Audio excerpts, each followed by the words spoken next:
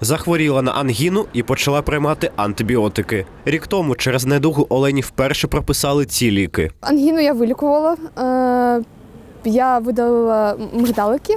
Е, Після видалення мигдаликів знову приймала антибіотики, а зараз приймаю, тому що видалила 4 зуби мудрості.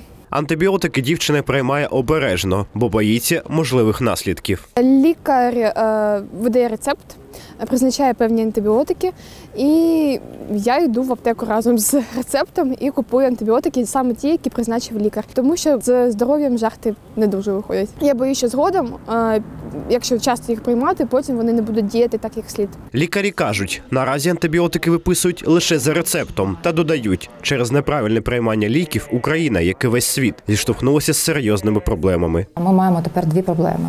Перша проблема а, тепер антибіотики діють не так, як нам хотілося. Тобто е, мікроорганізми звикають до антибіотиків.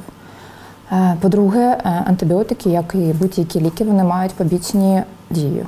Серед побічних дій діарея, нудота, здуття або біль в животі, говорять медики. Також це можуть бути і алергічні реакції, висипи, а в рідкісних випадках навіть анафілактичний шок. Щоб запобігти неприємним наслідкам, лікарі радять. Пацієнтам варто приймати протимікробні препарати лише за призначенням лікаря. У жодному разі не займатися самолікуванням, не використовувати антибіотики при вірусних інфекціях, проходити повний курс лікування згідно з призначенням, з призначенням лікаря, не пропускати прийом ліка- е, ліків Щороку у світі відзначають тиждень правильного використання антибіотиків. Цього разу він припав з 18 по 24 листопада. У цей період фахівці пояснюють пацієнтам про важливість та ймовірну небезпеку від цих пигулок.